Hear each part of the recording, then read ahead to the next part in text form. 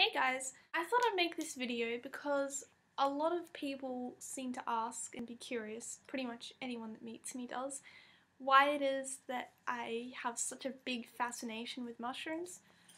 And honestly, I can't really give you, well I don't think I can give you a direct answer to that, but I have been interested in them pretty much my whole life. I still remember when I was a kid, I think I was like four or five, when me and mum went to the shops, I'd ask her to get me a bag of mushrooms so that when I got home I could just sit there and play with them and then I'd put them in the fridge and then get them out again later and play with them again and just, I don't know, like just, sounds weird but I just like touch them and look at them and sometimes I think I'd like peel them to see what's underneath and open them up and stuff. I just found them really interesting.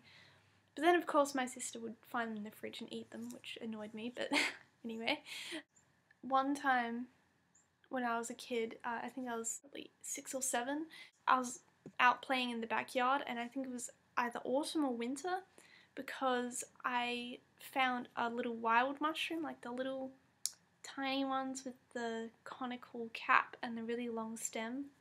You probably don't know what I'm saying unless you're into mycology, but anyway, uh, regardless, I saw it and I found it so exciting and I ran in and I told mom like, Mom, there's this really weird mushroom outside, it's so cool. And then she, you know, told me how you don't eat them and all of that, but I never ate them anyway.